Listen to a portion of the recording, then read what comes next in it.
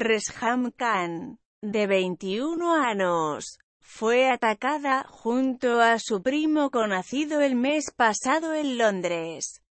La policía trata el caso como un crimen de odio, y tiene en la mira a un sospechoso.